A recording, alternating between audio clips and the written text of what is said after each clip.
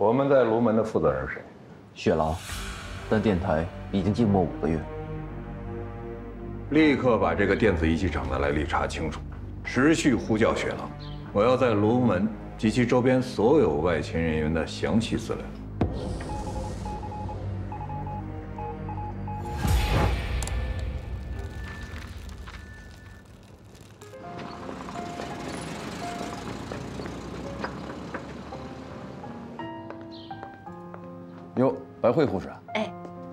今天去卫生局了，他嘱咐我无论如何都要给您测一下血压。哎呀，我没事。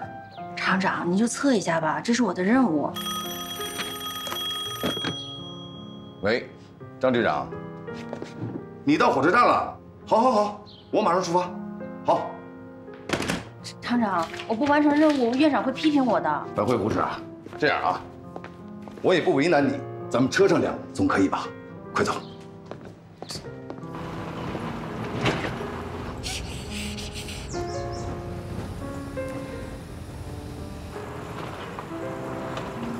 厂长，这么量您的血压是量不出来的，估摸一下就行。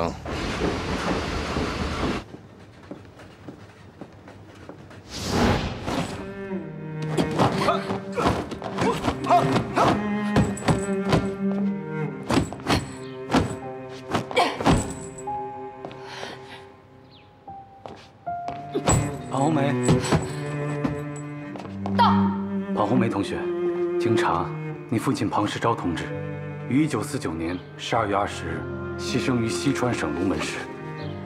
但是，很遗憾，组织上未能找到烈士遗骨。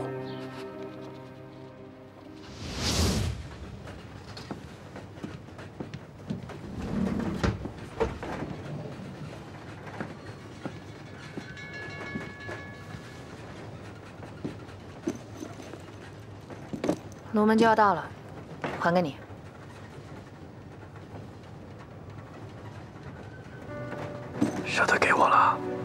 我很好奇，怎么安文山没跟你一起回来？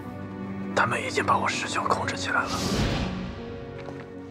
所以师兄才把笔记本给我，让我带回来。因为我的专业是数学，我回国，他们不会有那么大的反应。而我师兄的专业是材料学，所以即便是师兄自己的研究成果，他们也会抢走。原来是这样。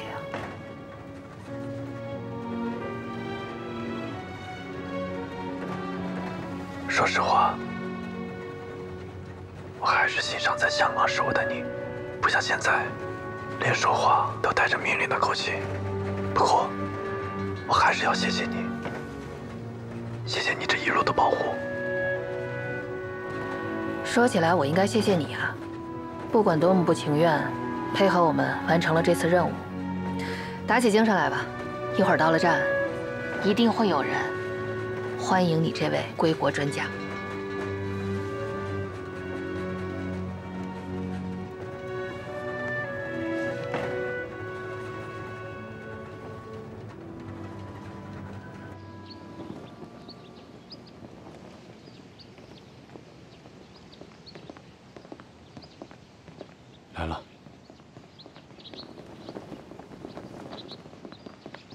张局长，您好，韩厂长。这么大阵仗啊？都是为了水利工程嘛。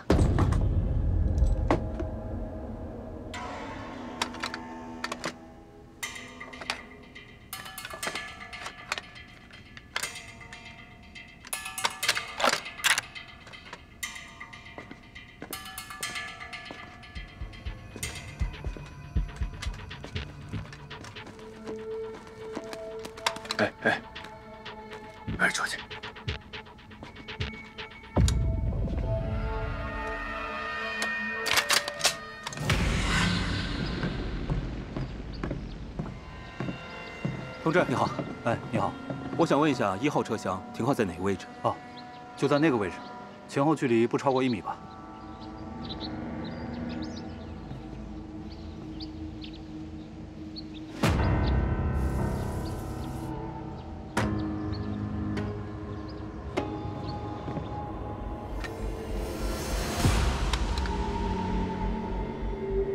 这可是归国专家呀为国家做贡献呢我们得让专家感受到我们的热情啊，至少得有人献束花吧。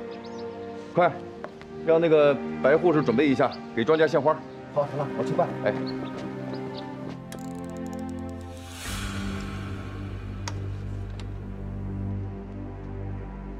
白护士，厂长喊你去献花。让我献花，是啊，你快跟我过去，厂长叫你呢。可可是花在哪儿啊？花儿，哎，这不是花吗？现成的，先采一些。哦，来来来了。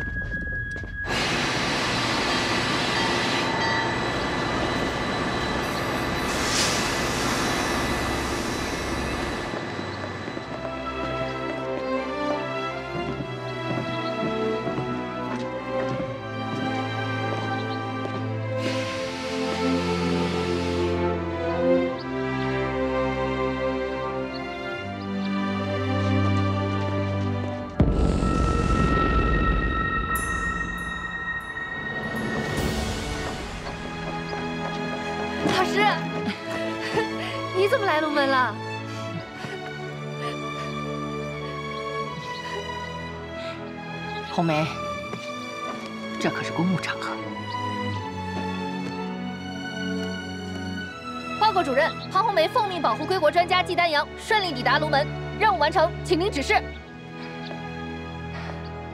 季专家，您好。你好，我叫张岩，欢迎您归国，投入新中国的建设。谢谢。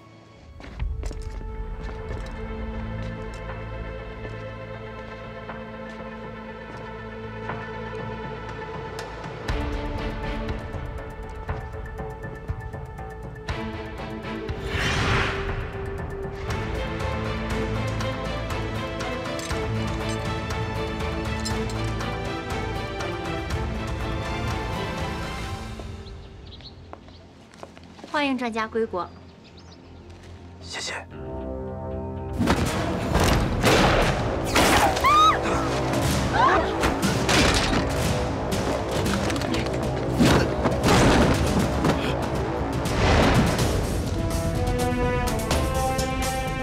后妹，后妹，保护专家撤离。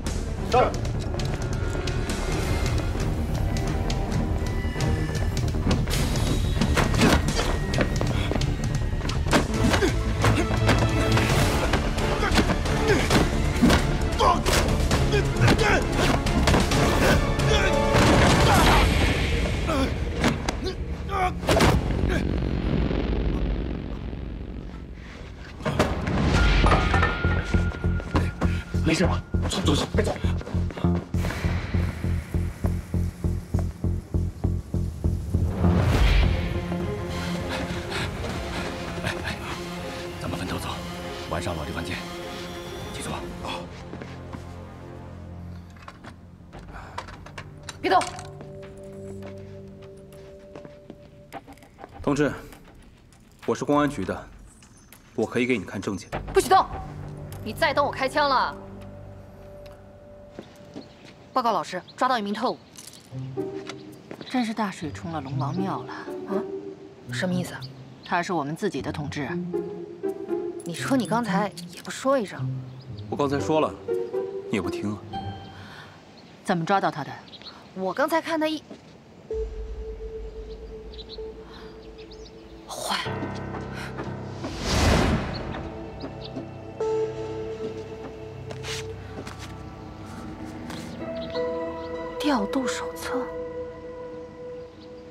客车的车次是不需要保密，到站的时间呢也都是公开的，车务段、公务段、机务段、信号段各个部门都很清楚。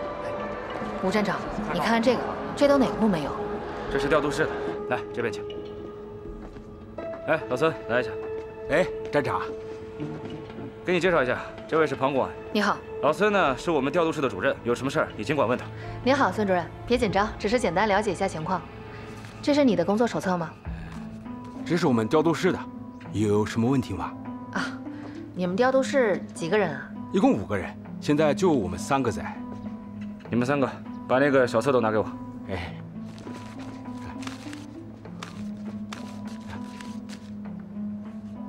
谢谢。哎，另外两个人呢？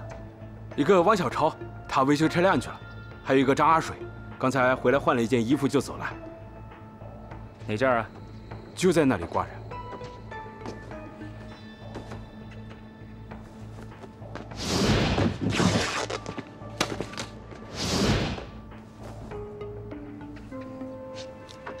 照片里有他吗？哎，有有。哎，这个就是上边左边，这个是张阿水。孙主任，这张照片恐怕我们要借用一下。哎，好。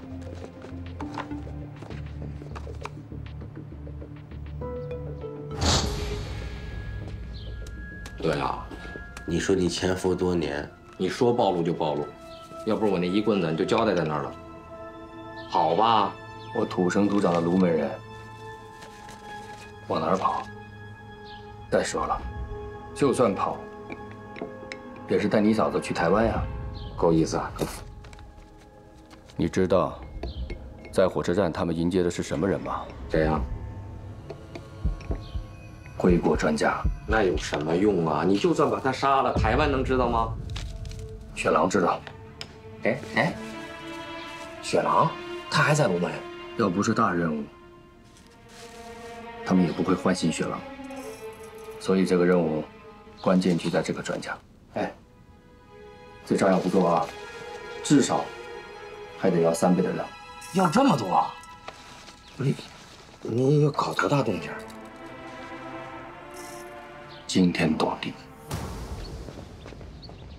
季专家，葛主任是我们厂的一流专家，一定能把你的嗓子治好的。季专家，感觉吞咽有疼痛感吗？有点啊，好，那你这是外伤性的炎症，或者是喉返神经受伤引起的。这段时间就建议你多休息，多吃点清淡的东西。我先给你开点消炎药，如果三五天还不见好的话，我会召集专家帮你会诊。好，谢谢。我接到调令，接任卢门市公安局局长，是因为水滴工程，还因为你的父亲。老师，我也不走了。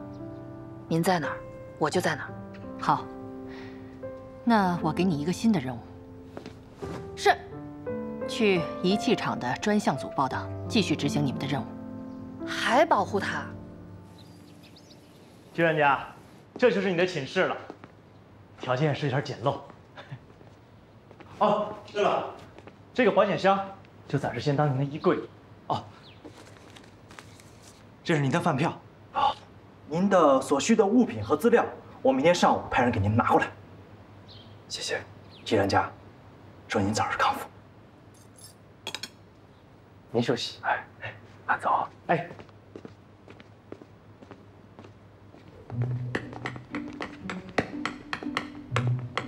哎，李科长，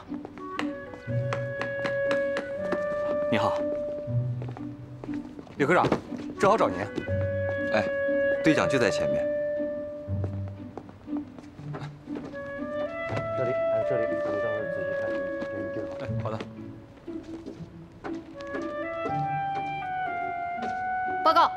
公安战士庞红梅前来专项组报道。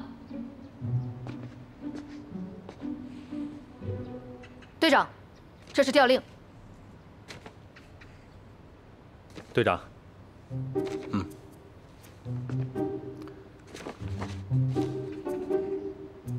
你是队长？怎么，不能是我吗？同志们，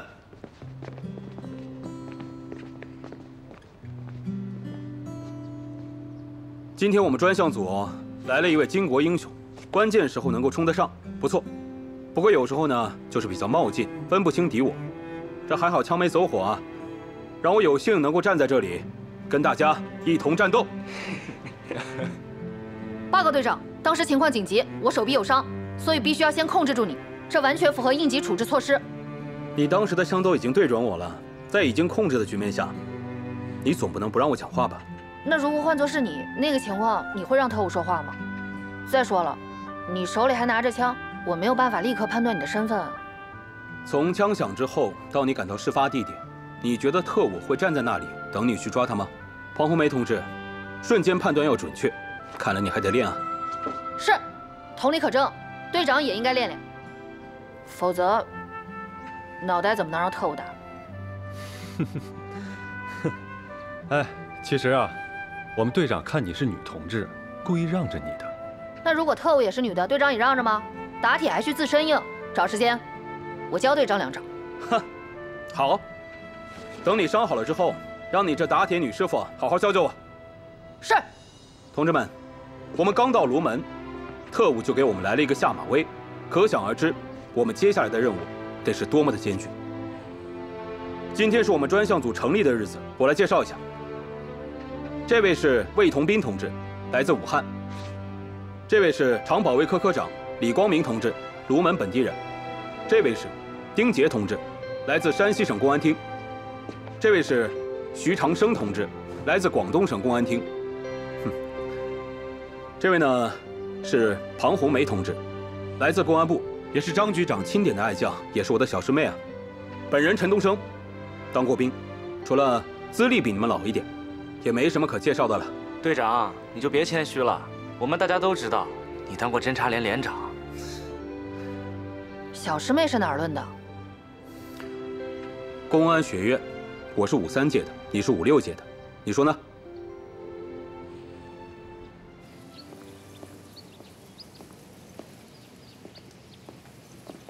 季专家，季专家，你这是去哪儿啊？你去哪儿？我去文具店买尺子。哦这么大的厂子，没有您要用的尺子。我需要的尺子跟您理解的尺子恐怕不太一样。行，我跟你去。我，李科长，先姑你陪一下他，我去报备。这，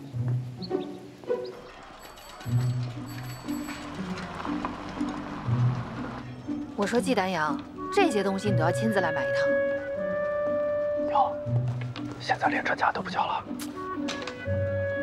我跟你说，以后在公共场合就叫你本名，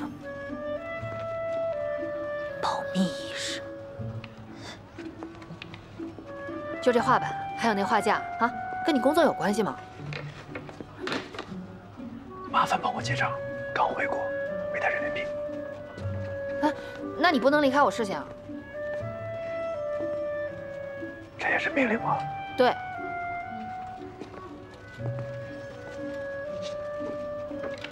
这些都要装起来，都要。七块五，来，谢谢啊。没事。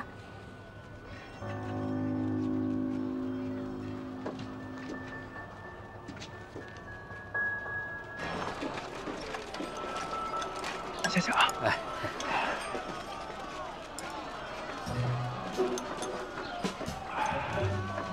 没钱结账，有钱在这吃凉粉，还这么辣，你嗓子不要了。我是红梅啊。甭跟我红梅红梅的，谁跟你这么熟啊？请叫我庞红梅同志。同志，你买的东西已经给你装好了。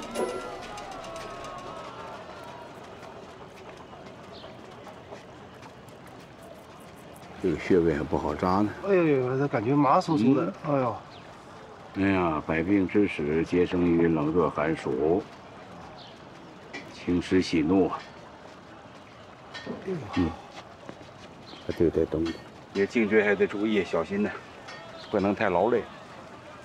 最近这个仪器厂扩建啊，我们市运输队也跟着起早贪黑的忙，这累的很。哦。赖叔好。哎哎，小慧来了。啊。啊，小慧啊。刚下夜班，不好好回家休息，跑这儿来干什么？那你都在家呢，我回去干嘛呀？我在这给人出诊，我回去干什么？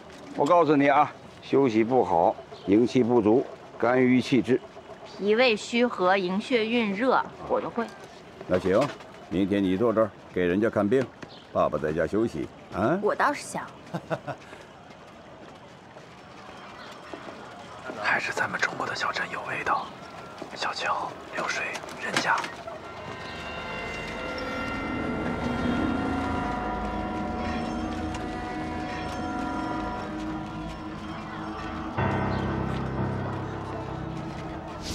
是上边左边，这个是张阿水。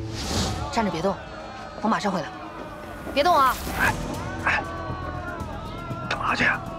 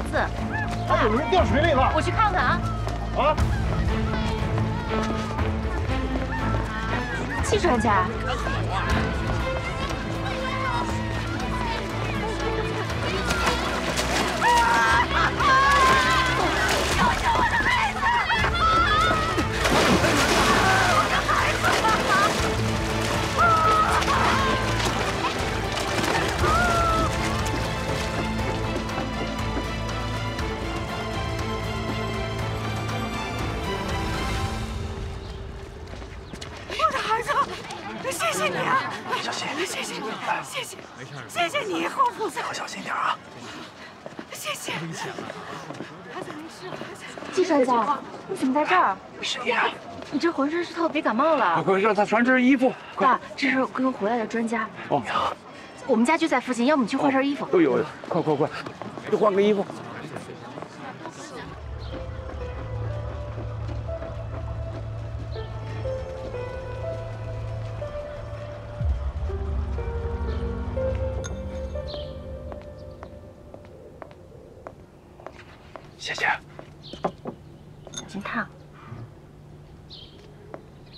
怎么能下水救人呢？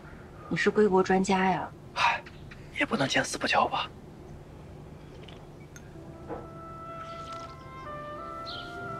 这什么呀？这么苦？啊板蓝根清热解毒，让你预防下感冒。嗯，还治疗咽喉肿痛。听你这说话，嗓子都哑了。谢谢啊。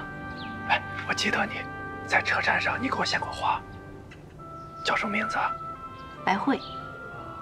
白慧。哎呀，小慧啊、季专家这个嗓子一听啊，就是受了外力给伤着了，哪是什么咽喉肿痛，你就乱说吧。叔叔，嗯，您怎么知道是外伤所致啊？这尤其刚才还吃了碗凉粉，现在嗓子是又麻又疼。小点声说话，哎，罩住我。啊，爸爸，嗯，要不你给季专家治治啊？我，哼，季专家这么重要的人物，我能给乱治吗？行了，等季专家这衣服一会儿干了，赶快让季专家早点回厂里吧，别耽误专家的时间。你呀，坐吧。白慧，你爸真能治好我嗓子？你等会儿。你好，请问有没有看到一个身穿白西装、大概这么高的人？你好，请问有没有看见一个瘦高个儿、呃穿一身白西装的人？对，刚刚那个救人的就个子高高的，也穿了一身洋装。对对对，外地人吧，咱们这儿可没有穿洋装的呀。他去哪儿了？眼瞅着是不是跟白大夫走了？白大夫，爸，要不你就给他吃一吃吧。就爱管闲事，你这个，爸，嗯，人家是好人，你又知道了，留洋回来的嘛，建设国家的。留洋的嘛。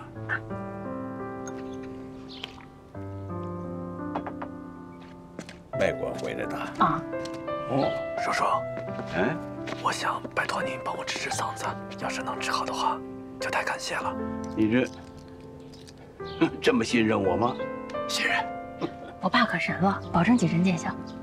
又瞎说，去，把针包给我拿来。哎，拜托您了，让我看看。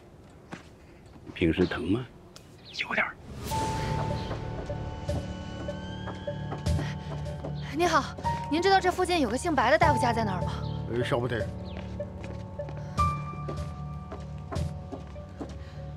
哎，您好，同志，这附近有一位姓白的大夫，您知道他住哪儿吗？知道，从这往上走，拐个弯就到了。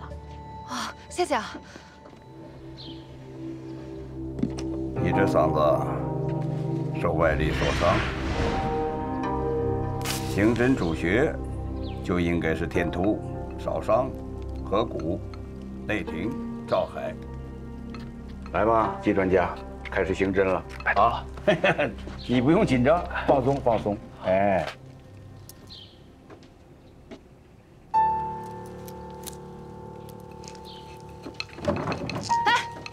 干什么呢？别动。你要不想让他嗓子废了，就别动。我记得您，你是跟季专家一起回来的公安吧？您别担心，我爸是在给他治疗嗓子。谁让你治的？我，你别说话，你闭目养神。哎呀，你要不动啊，他什么事都没有；你要是一动呢，他这嗓子啊，就真的废了。我是负责他的安全的，我对他的安全负有绝对的责任。我现在请您立刻把针给我拔出来。小同志，这个时候你最好不要给我下命令，针已经下了，不能半途而废的。你放心吧，有我在这儿。小慧，哎，给公安同志沏杯茶，让他放松放松。哎，嗯，感觉怎么样？唐公安，您喝点茶吧。你放心，我爸行医多年，不会有事的。喝吧，这是大叶冬青，性凉味苦，清热解毒，很适合你现在。我一看你这就是五心烦热呀，上了实火了。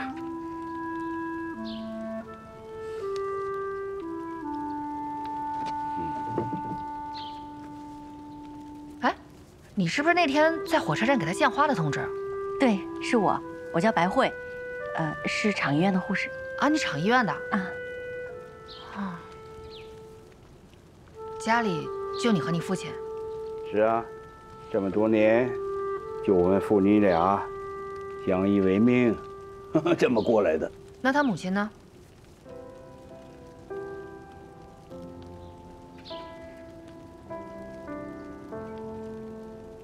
小慧不是我亲生的女儿，这是我养女。小慧的亲生父母啊，在她很小的时候就走了。亲生父亲呢，是为国捐躯的。母亲呢，过去是咱们卢门兵工厂的秘书。那年日本人的飞机来轰炸的时候，很可惜，没躲过去，遇难了。所以呀，这么多年一直都是我带着她的。这卢门也有兵工厂？对呀，就是你们仪器厂啊。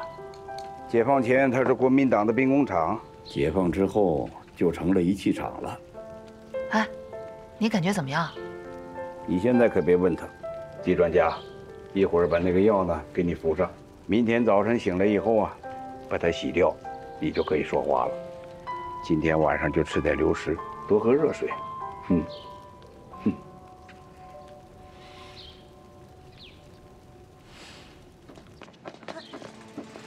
无组织、无纪律，谁家你都进。不经允许就让那大夫给你治，你了解过他吗？他什么身份呀？可靠吗？我跟你说话呢。所有人都在围着你转，能不能替我们考虑考虑？中共的水滴计划，准确的选址就在大陆腹地。哎呀，我们的空军优势也是鞭长莫及呀。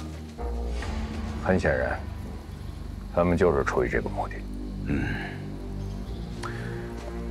那边就是台湾海峡，一旦中共有了潜艇，那么这道海峡将是我们永远过不去的天堑。要不是因为水利工程搅到我们寝室难安，我也不会让你来担当重任。放心吧，李处长。嗯，队长，我申请能不能换个人跟他？我没这能耐。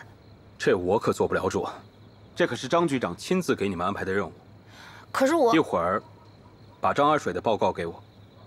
嗯，这是你的房间，因为你是女同志，所以特地向厂里请的，你可别嫌小。啊，谢谢队长。嗯，早点休息。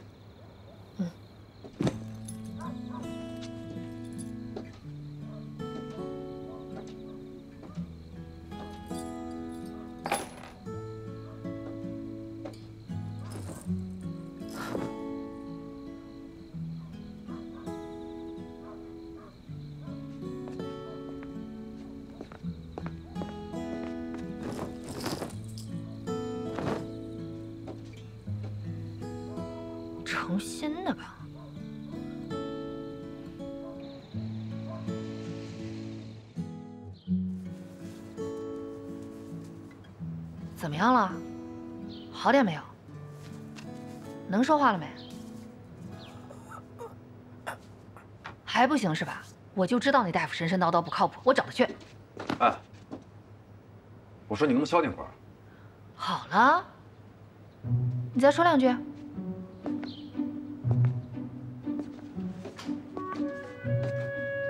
假如我是一只鸟，我也应该用嘶哑的喉咙歌唱。这白大夫可以啊，专到病除。不是这么严重、这么认真的事儿，你这跟我开玩笑呢，跟我装呢？你在香港暴躁，在火车上神经质，现在就算到这儿，你也疑神疑鬼的，想抓特务想疯了。你才疯了呢！啊？好，我可以不跟你计较，但是你对同事的父亲，是不是也太没礼貌？那还不是因为你乱跑，不想想自己的问题。好，从现在起，我要工作，我要认真工作，这你总不用再盯着我了吧？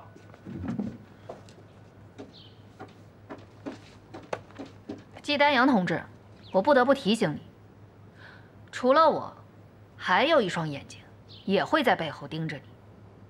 那就是特务。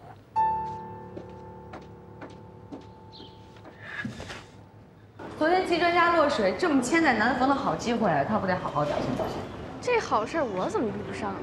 我水性好，要人家主动呢，咱们可没这种。哎，你说不会是季专家落水昏迷，然后白慧紧急抢救了吧？那可说不准啊。哎，这错我改。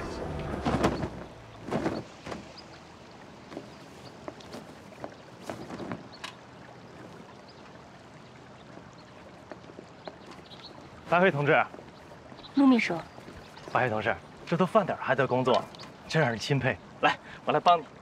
我自己来就行了，这就是正常工作，有什么可钦佩的？我听说你昨天跟季专家在一起。哦，哦，是啊。他落水，你救他，你还抢救了？这谁说的呀？是一个小男孩落水，季专家下去救人。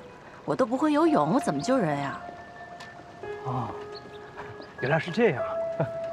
这谁说的呀？现在厂里出了好多流言蜚语，你看你就这么一接触，流言蜚语就来了。白慧，这一点你可得注意啊。我什么都没做，我注意什么呀？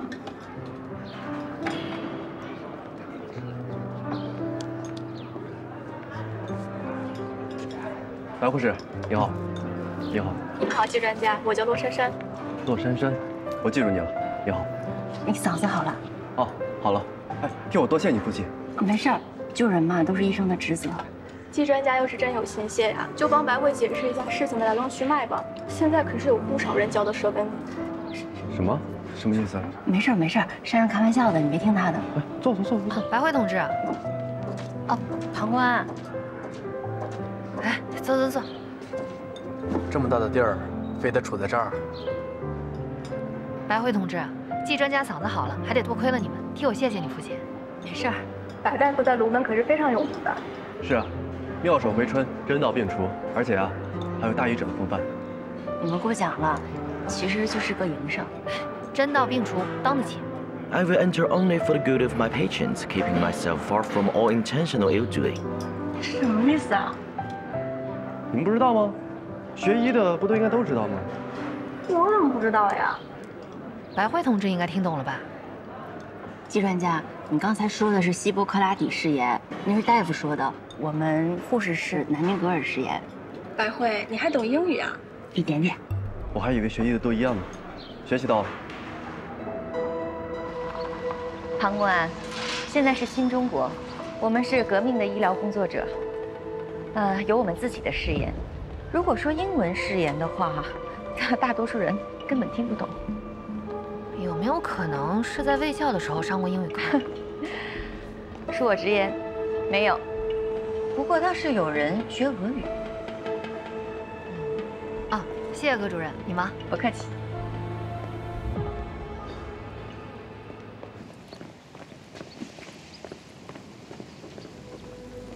同志，你们这儿有人报修说水龙头坏了。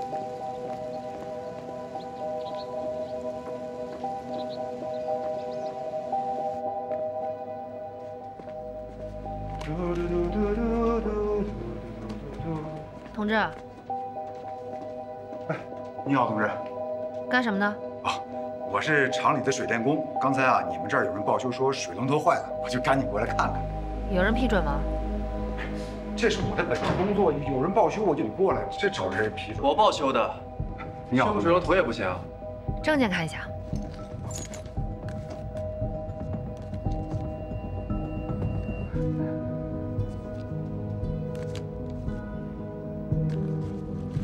工作包。庞红梅同志，这里是专家楼，不是在火车上。配合一下。配合，配合。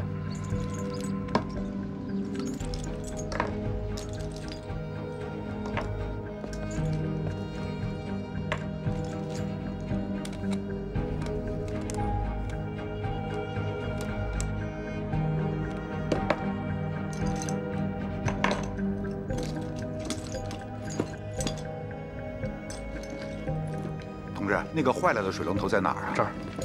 哎，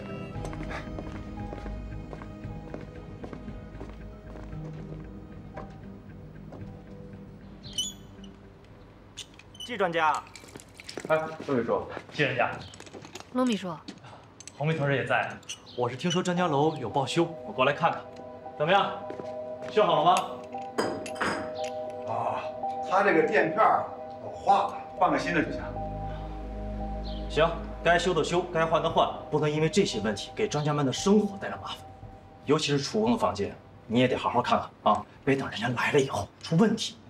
你就放心吧啊。行，那你们先忙，我先回去了。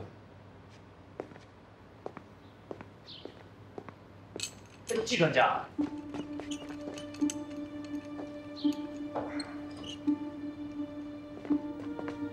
季专家，季专家，我主要是想因为白慧的事情跟你道个歉，是因为我工作做的不好，给你添麻烦了。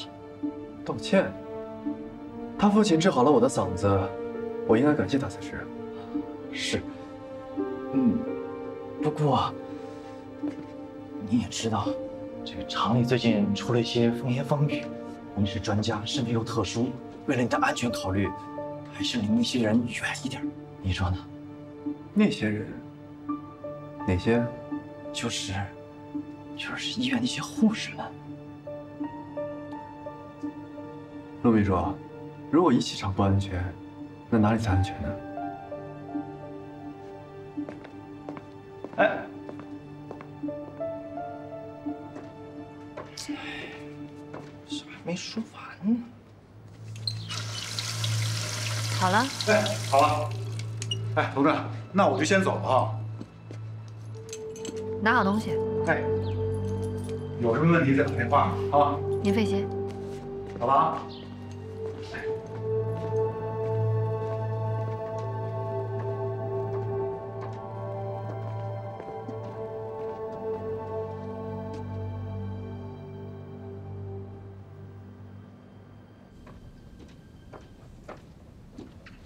老师让我转交给你的。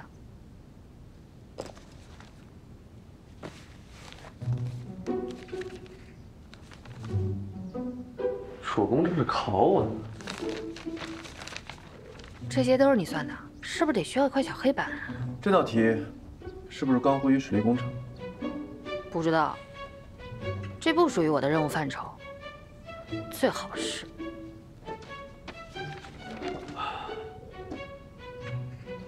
算好了。这么快？算的对吗？对不对？你也看不懂啊。